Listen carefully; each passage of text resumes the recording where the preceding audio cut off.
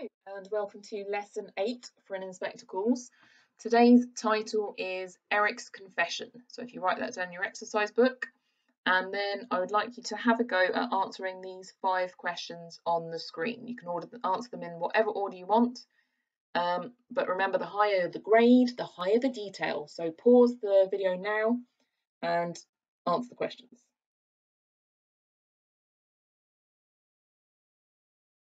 So how did you do? So what I want you to do is using a green pen or a different colour pen, pause the video and add to or correct your answers for those questions.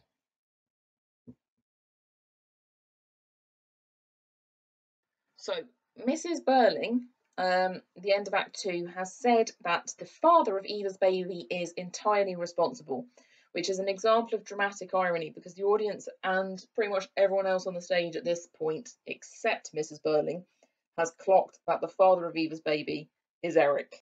He's been acting incredibly shifty all night. He's been downing bottle and bottle of port after another.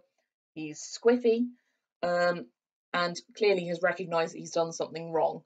Um, but in terms of the understanding the context, you need to kind of understand gender roles in those times, particularly when it came to parenting. Um, so in 1912, no woman could raise a child born outside of marriage and remain in polite society or employment.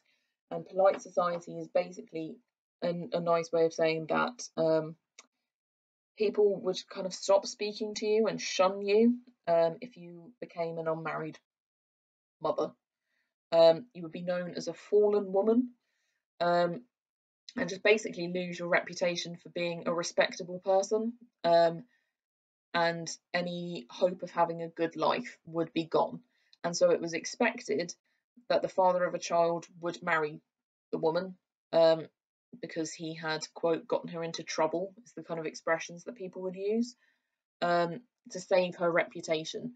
Um, and to kind of help express this, you have a picture here which is from Victorian times, again, which wasn't that long before Edwardian times. So 1912 isn't that long after Victorian times. When you have a picture of an unmarried woman leaving her baby at the Foundling Hospital, uh, which was quite common. Um, if you were an unmarried woman, you might give your child up for adoption. Um, and it was starting to become more socially acceptable to be an unmarried woman um, who was a mother after World War II, mainly because of the high numbers of deaths in World War II. But even then, there was still some shame attached to it. So the 1945 audience would still kind of recognise that Eric was to blame and that he was, to some certain extent, responsible for helping Eva Smith. So Priestley has kind of used this example because a 1945 audience would have a similar reaction to Mrs. Birling in that sense that they would expect the father to be doing something to help. That wouldn't have changed between 1912 and 1945. So what we're going to do now is we're going to watch the film. So you're watching from 58 minutes, so that's where we left off from last lesson, and you're watching up to an hour and eight minutes. Um, so pretty much when Inspector Goole says the pitiable bit of organised charity you had in your power to grant her to Mrs. Birling. Um, and remember to return to this video once you have watched the film.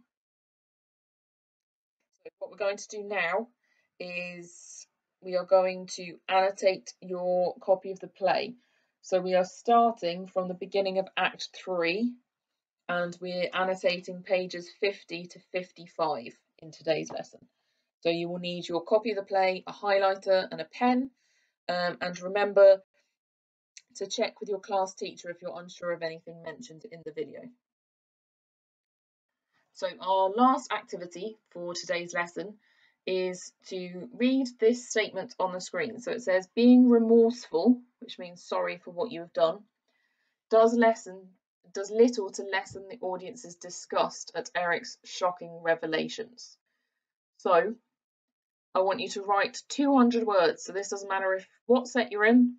Um, you are aiming to develop your opinion as an audience member to in response to this statement.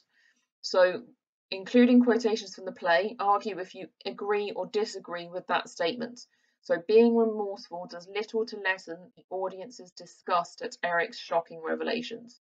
So, you need to think about whether the audience feel more angry towards Eric, who potentially raped Eva, got her pregnant, um, left her unmarried, um, or does the fact that he is clearly guilty and he clearly recognises he's done something wrong and has tried to make amends for that by um, offering her financial support. Admittedly, it was stolen from his father's business.